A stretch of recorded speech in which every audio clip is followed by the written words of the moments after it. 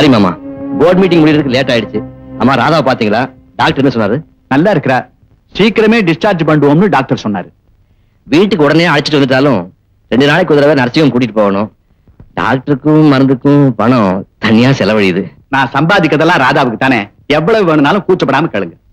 இப்போதைக்கு ஒரு பத்தாயிரம் ரூபாய் இருந்தா போதும். பத்தாயிரம் போதும் இல்ல. இந்தாங்க. இதுல பத்தாயிரம் ரூபாய் இருக்கு. அப்ப நான் புறப்படலாமா? போய் ரைட் டைம் ஆயிடுச்சு. வாங்க போலாம்.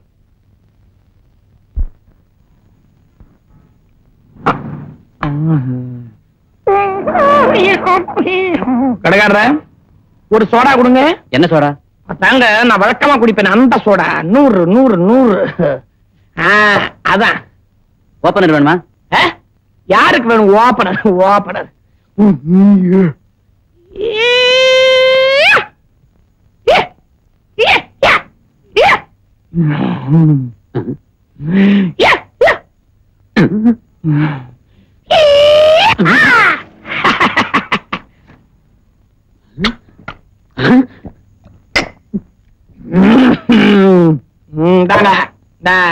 பாருங்க.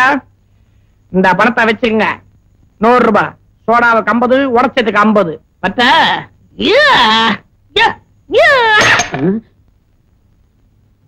தம்பி தம்பி தம்பி கொஞ்சம் நில்லுங்க.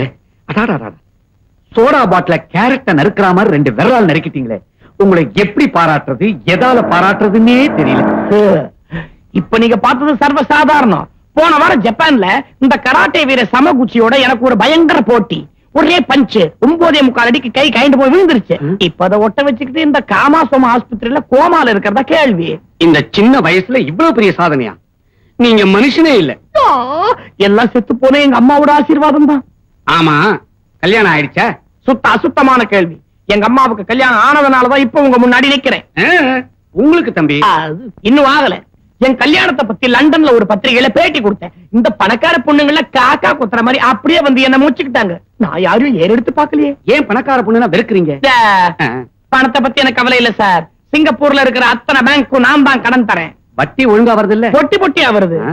கராட்டேலயே நான் தான் சார் ஒரு பிளாக் பெல்ட் எனக்கு மனைவியா வரவ அட்லீஸ்ட் ஒரு பிரவுன் பெல்ட் ஆவது இருக்கணுமா என்ன சொல்றீங்க? தம்பி என் மக ஒரு பிரவுன் பெல்ட் பிளாக் பெல்ட் மாப்பிளைக்கு தான் அவளை கட்டி வைக்கணும்னு நான் வைராக்கியத்தோட இருக்கேன். அப்படியா? இந்தியாவிலேயே கருப்பு பெல்ட் வாங்கினவன் நான் ஒத்தம் தான் இருக்கேன். பாவம் என்ன பண்ண போறீங்க? அதனால தான் உங்களுக்கே என் மகளை கட்டி கொடுக்க முடிவு பண்ணிவிட்டேன். நான் இப்ப கல்யாணம் பண்ணிக்கிற மூட்ல இல்ல சார் தம்பி தம்பி மறுப்பு சொல்லாதீங்க. மனச மாத்திக்கிட்டு சரின்னு சொல்லுங்க. ஓகே கல்யாணத்துக்கு ஒத்துக்கிறேன். வாங்க வீட்டுக்கு போலாம். ஐயோ இப்பவே வா. ஒரு நல்ல நாளா பார்த்து வாங்க. அதுவும் சரிதான். வரேன்.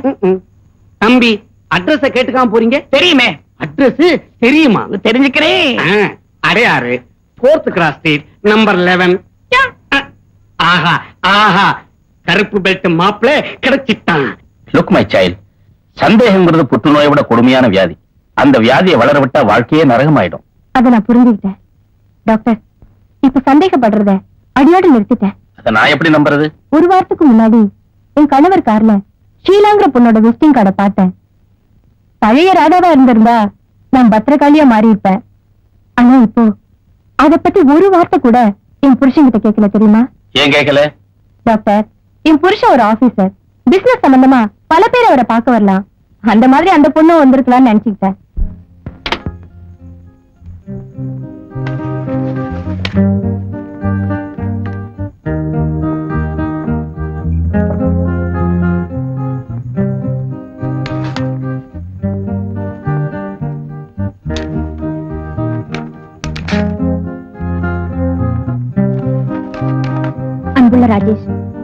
நட்பு எனக்கு கிடைத்தது நான் செய்த பாக்கியம்.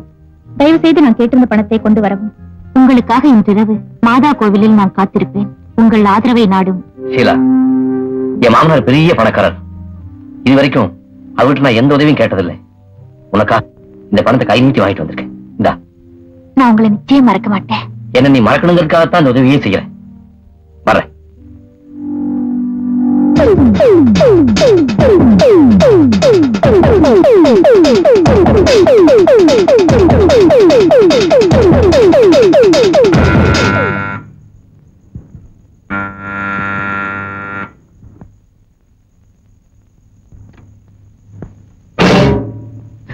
Mr. Rajesh. Inspector. May I come in? Oh, by all means. Banga. Thank you. Hmm. நேரத்துல உங்களை நான் எதிர்பார்க்கவே இல்லை. ரொம்ப பிரமாதம். உங்க வரவேற்பு. இன்ஸ்பெக்டர் ஐ மீன் உங்க வரவேற்பறை ரொம்ப அழகா இருக்குன்னு சொன்னேன். ஆமா உங்க ஒய்ஃப் வீட்ல இல்லையா? அவளுக்கு உடம்பு சரியில்லை. ஹாஸ்பிட்டல் இருக்கா?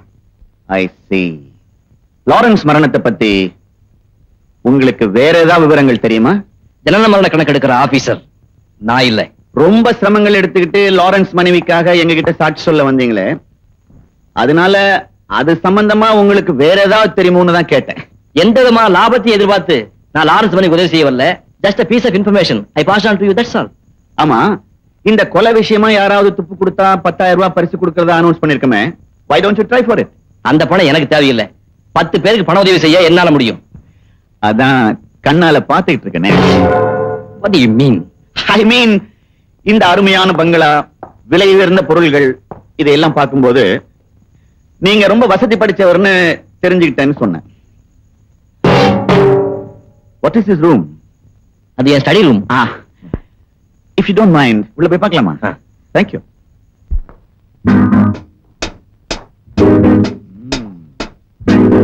பியூட்டிஃபுல் ரூம் நிறைய புக்ஸ் வச்சிருக்கீங்களே? எஸ் இட்ஸ் மை ஹேபிட் புத்தியையும் தீட்டுவீங்க. கத்தியையும் தீட்டுவீங்களோ? Inspector, I don't get you. I mean, this sword. ரொம்ப கூர்மையா இருக்கு. ஒரே வெட்ல தலை போயிடும். இல்லையா மிஸ்டர் ராஜேஷ்? கொலை பொருளா இல்ல கலை பொருளா வச்சிருக்கேன். உங்க கலைப்பொருள் ரொம்ப அழகா இருக்கு. எங்க வாங்குனீங்க? அது எங்க பரம்பரை சொத்து. ஓஹோ அப்படியா?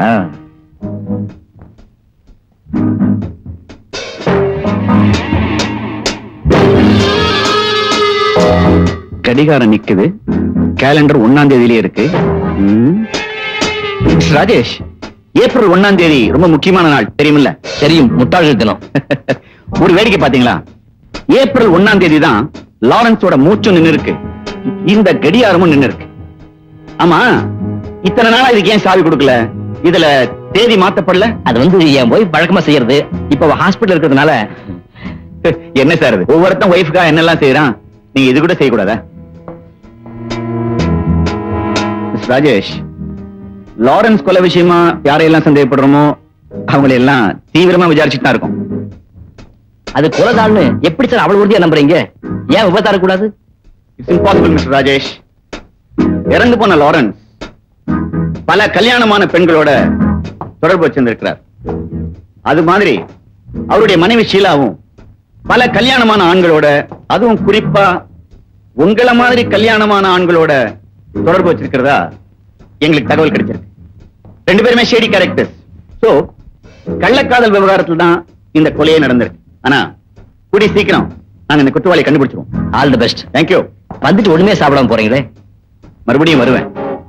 ஐ மீன் பக்கத்து தெருவுக்கு. அப்ப சாப்பிடுறேன்.